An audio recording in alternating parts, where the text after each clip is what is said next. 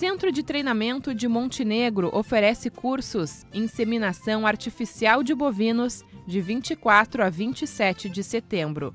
Informações pelos telefones 51 3632 1261 ou 99862 6687 ou ainda através do e-mail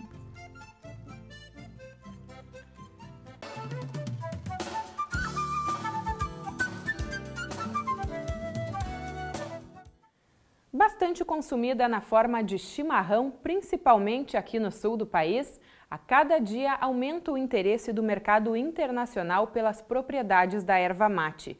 As perspectivas de mercado para a cadeia produtiva indicam que o setor está perto de passar por transformações significativas, promovidas por novas formas de uso da planta.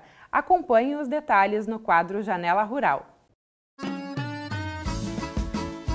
Planta nativa da América do Sul, a erva mate ocorre naturalmente em altitudes variando de 500 a 1000 metros no Brasil, Argentina e Paraguai. A erva mate sempre teve grande importância para a região sul do Brasil. A relevância da atividade ervateira se deve ao seu papel na história e no desenvolvimento dos estados do Paraná, Santa Catarina, Rio Grande do Sul e também em parte do Mato Grosso do Sul. Só no Brasil, são mais de 150 mil propriedades trabalhando com a cultura, em especial para a produção de chimarrão e chás. No entanto, novos potenciais da erva mate são descobertos a cada dia, tais como medicamentos, chás, energéticos, corantes, conservantes de alimentos, produtos de higiene e cosméticos. O potencial da erva mate é algo até de certa forma inimaginável. A verdade é que a erva mate, a nossa querida Elex paraguariensis, ela ainda está vinculada a dois tradicionalíssimos e maravilhosos produtos chamados chimarrão e tererê. Nos últimos anos nós estamos trabalhando para realmente pegar a folha e trabalhar diferente colhê-la manualmente, sem os palitos, a folha jovem, o broto, e transformá-la num artigo realmente consumido por 95% dos consumidores mundiais de chás, entrar em segmentos como gastronomia de, alta, de alto nível, colocar a erva mate realmente onde ela merece, no, no, no topo da culinária mundial nós percebemos é, que a erva mate não tem somente potencial no mercado internacional, tem muito potencial também no Brasil. Nós temos a cultura do chimarrão e do tererê vinculada às tradições sulistas, Rio Grande do Sul, Santa Catarina e Paraná. Nós temos um mercado potencial enorme, violentamente grande para o tererê nas praias do Brasil. Nós temos o chá mate gelado se preparado em todas as cafeterias do Brasil como a porta de entrada para novos consumidores. Nós podemos preparar o tererê em técnicas técnicas como aeropress, prensa francesa, é, French press, muitas técnicas realmente que hoje são exclusivas do café e que podem ser levadas para uh, o tererê. O chimarrão certamente é, é, continuará por muitos anos, isso é inegável que a tradição se mantém, mas assim, novos mercados, eu não acredito que a gente atinja novos mercados com o produto chimarrão, mas sim uh, pensando em, em uma matéria-prima é, para cosmético, para chá, para ou para um produto ainda pra, mais elaborado, que seria até para enriquecimento de outros produtos. Se o campo não for eficiente, se o campo não oferecer essa, essa qualidade de matéria-prima, dificilmente a gente vai atingir esses, esses nichos de mercado. O campo é o que determina é, o futuro ou não da atividade. Mas para alcançar esse mercado e também aumentar a produtividade, o sistema de produção da erva mate precisa ser melhorado para garantir qualidade e padrão de matéria-prima. Para isso, a Embrapa Florestas está propondo a adoção de tecnologias do sistema Erva 20, que propõe ajustes e melhorias no manejo da erva mate. O Erva 20 é um conjunto de práticas de manejo e tecnologias que a Embrapa tem pesquisado junto com parceiros é, em pelo menos 30 anos de pesquisa com erva mate.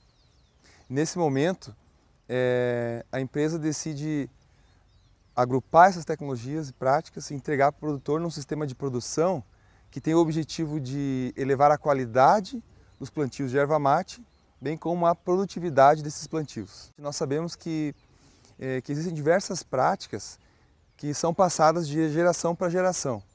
O Erva 20 traz um ajuste fino que a pesquisa faz em cada uma dessas práticas para que elas tenham uma maior eficiência é, na produção, na qualidade ou na redução da mão de obra necessária para produzir aquela erva mate.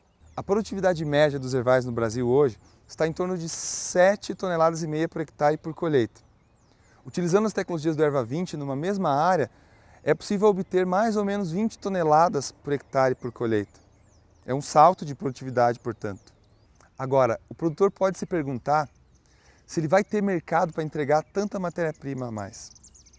Uh, os mercados de erva mate estão se expandindo com o desenvolvimento e o lançamento de vários produtos, como fármacos, cosméticos e mais recentemente como componente em ração de animais de diversas espécies. Isso representa um salto para o setor ervateiro que nunca foi visto. Então, ele precisa estar preparado para atender todas essas demandas. Os produtores acreditam que com a adoção de tecnologias, a produtividade pode ser ainda maior, com benefícios também ao consumidor. Sem tecnologia, sem uh, todo esse conjunto, parte material genético, escolha da, da, da, da, de uma muda de boa qualidade, manejo, manejo de praga, é, poda, e é o conjunto, assim, para chegar a esses números aí de 40 toneladas ou até mais, que eu acredito que é possível, sem perder uh, o principal, que é a qualidade do produto final. É impossível que uh, a gente se consiga é, se manter com a atividade sem adotar tecnologias, porque o custo da produção vem crescendo e o preço final, não, não, o consumidor não está não tá disposto a pagar é, 20 reais um quilo de, de produto acabado, porque no campo nós não, não, não somos eficientes. Então tem que ter é, esse, esse, esse balanço. Produzir bem, com qualidade, para que não chegue no, no, consumidor final um produto muito caro. Existe muito potencial. A gente vê, através de pesquisa, conversando com o pessoal de Embrapa, a gente vê que o mercado é gigantesco. E o mercado externo está crescendo cada vez mais. A demanda é muito grande para a nossa erva mate, que tem uma excelente qualidade. Porque é muito importante a gente ter a tecnologia a gente ter, no meu conceito, eu acho importantíssimo ter qualidade, produtividade e principalmente homogeneidade, que é o que o cliente externo precisa. Tanto o, o consumidor de chimarrão quanto do mercado externo, ele quer que eu tenha quantidade, qualidade e produtividade. Então a gente buscou essas técnicas para que eu tenha uns ervais homogêneos e não tenha nenhum tipo de problema na hora de comercializar. Vou poder oferecer um produto para o meu cliente que vai ser sempre da mesma forma e sempre igual e homogêneo. Vale muito a pena investir em tecnologia. Sem essa tecnologia você não vai ter os resultados. Você pode achar que vai ter uma produção razoável, mas você não vai ter. Com a tecnologia você vai diminuir a probabilidade de você errar. E isso a produção vai aumentar muito mais e é essencial a aplicação em tecnologia. Eu acredito que o futuro da erva mate continua muito promissor, principalmente quando nós, produtores de erva mate, industriais da erva mate, não ficar pensando só erva mate, cuia e guampa. Nós temos que ter sonhos muito mais altos. E que a erva mate tem muitas benesses para ser humano e isso tem que ser explorado não pelo chimarrão e tererê, também o chá. Existem, eu acredito nisso.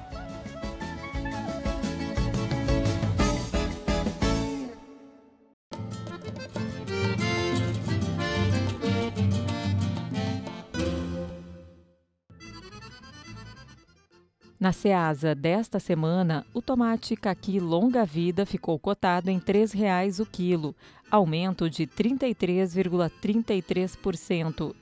A batata doce registrou preço de R$ 1,50 o quilo, aumento de 20%.